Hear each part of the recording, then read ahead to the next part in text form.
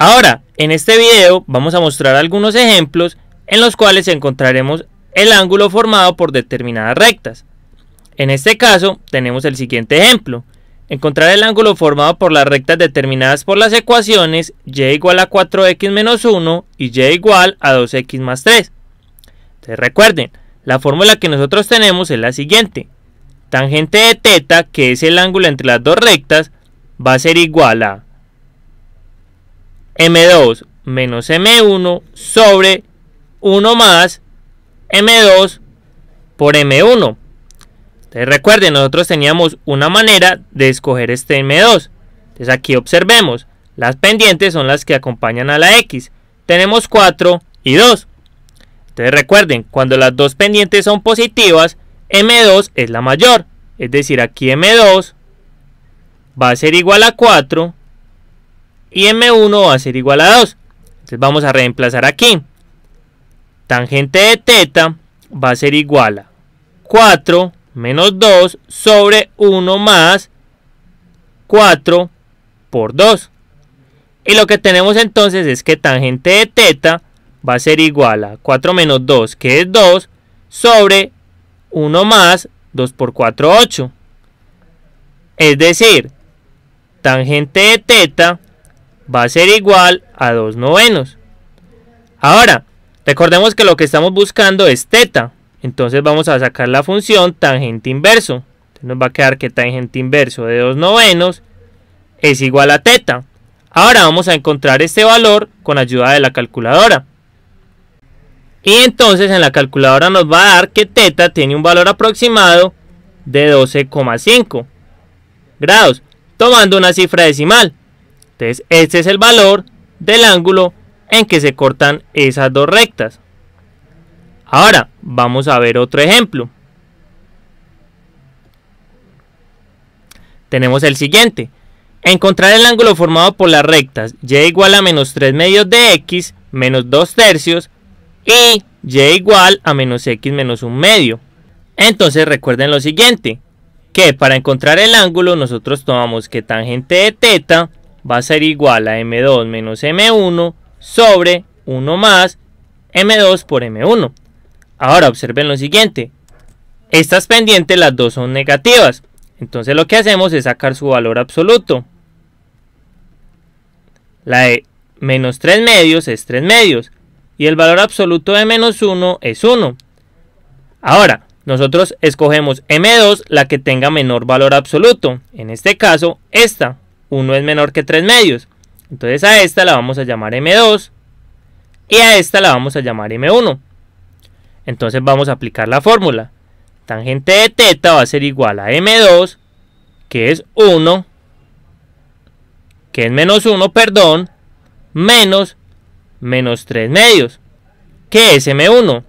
Y esto sobre 1 más M2, que es menos 1, por M1 que es menos 3 medios. Y esto nos da lo siguiente, que tangente de teta va a ser igual a menos 1, menos por menos nos da más, o sea, más 3 medios, sobre 1 más, y menos 1 por esto, menos por menos nos da más, y entonces nos queda 3 medios. Es decir, vamos a tener lo siguiente, que tangente de teta va a ser igual a, sumando aquí, ponemos un 1 aquí, multiplicamos, o sea, nos queda menos 2 más 3 sobre 2, y esto sobre, hacemos lo mismo aquí, 2 más 3 sobre 2. Y entonces nos va a quedar lo siguiente, que tangente de teta va a ser igual a menos 2 más 3, que es 1 sobre 2, y esto sobre 2 más 3 que es 5 sobre 2. Luego aplicamos la ley de la oreja. Y entonces nos va a quedar que tangente de teta va a ser igual a 1 por 2 sobre 5 por 2. Entonces cancelamos este 2 con este 2 y nos queda que tangente de teta es igual a un quinto. Ahora sacamos el tangente inverso, es decir, teta va a ser el tangente inverso de un quinto. Y en una calculadora nos va a dar lo siguiente. Que teta va a ser igual a 11,3 si tomamos una cifra decimal, es decir, este es el ángulo en que se cortan. Ahora vamos a ver otro ejemplo. El ejemplo que tenemos es el siguiente. Encontrar el ángulo formado por las rectas y igual a 6x más 2 y y igual a menos un cuarto de x menos 4. recuerden siempre la misma fórmula.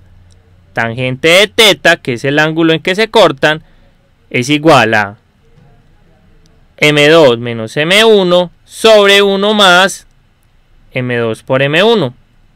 Ahora, observen lo siguiente, aquí tenemos una positiva y una negativa. Nos dijeron que cuando era una positiva y una negativa, tomábamos la negativa como m2, es decir, esta va a ser m2 y esta va a ser m1. Entonces, simplemente reemplazamos. Tangente de teta va a ser m2, que es menos un cuarto, menos m1, que es 6 y esto sobre 1 más m2 que es menos un cuarto por m1 que es 6 y entonces nos va a dar lo siguiente. Que tangente de teta es igual. Ponemos un 1 aquí y nos queda menos 1 menos 6 por 4 24 sobre 4 por 1 que es 4. Y esto sobre 1 y esto por esto menos por más nos da menos, o sea menos 1 por 6 nos da 6, o sea menos 6 cuartos. Ahora, ¿qué nos va a quedar entonces? Nos va a quedar que tangente de teta va a ser igual a menos 1 menos 24, que es menos 25 cuartos, sobre esta suma, que es lo siguiente, es 4 menos 6 sobre 4. Es decir, aquí nos va a quedar que tangente de teta va a ser igual a menos 25 cuartos sobre 4 menos 6, que es menos 2, sobre 4. Ahora observen, nosotros podemos quitar estos signos, porque los dos son negativos y menos sobre menos nos va a dar más.